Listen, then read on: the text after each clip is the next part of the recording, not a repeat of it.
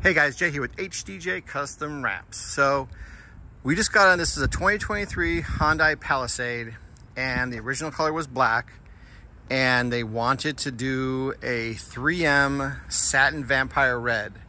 So it actually looks way better than I thought I was gonna look. Um, this thing has a ridiculous amount of work. Uh, let's see what we left. We left the roof black, left, left the mirrors black, all the chrome stayed black. The hands were chrome. Um, the front bumper was chrome. And um, anything that was chrome, we left chrome. So we didn't do anything too crazy. But the hard part of this car was like these areas. So as you can see on the fender, here's the fender. And then they have these extra parts of the fender. So it's just like lay that piece and then lay another piece and then under the doors just so I can lay another piece there, lay another piece there.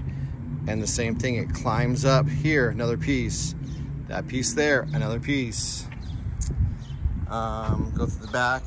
This was actually its own, its own piece. It went from here to here, all the way around to the other side, same thing. And then the rest, the rest of the bumper. Got to cut around this like little thing is designed to like set stuff on. So that wasn't fun. Uh, since we did leave the roof though, I wanted to make it from side profile. Looked like it was fully done. So all we did was wrapped a quarter of it just to kind of go with the, um, the pillar. Uh, wrapped the gas cap, da, da, da, da. Came out really, it came out really good. I, I really like it. It's actually darker in person. You're getting little bright colors, a little bit bright right now. But even, you know, up here, like essentially there was actually no real front bumper. It was just these things. But you had to cut, had to, you know, cut around those, cut around the light, cut around, and then it actually had, this piece went all the way down and a little bit underneath. So it was a lot of different sections to do this. And I mean, it, it did come out really good. They're just gonna have to take care of it. Satins are a little more more difficult to take care of and that's just kind of the nature of the beast. But here it is. If you guys need anything done let me know. You know if you want to just you want to protect your paint get a new look you know be a little flashy maybe you know stick out in the crowd who knows?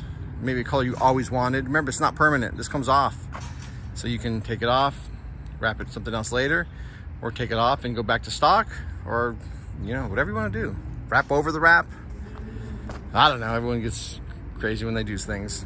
Anyways, thanks for watching, you guys. It's pretty warm out already. I'm already starting to sweat just doing this video. So stay out of the heat. If you like this video, please comment, give me a thumbs up, share with a buddy, share with a friend, share with a family member, whatever.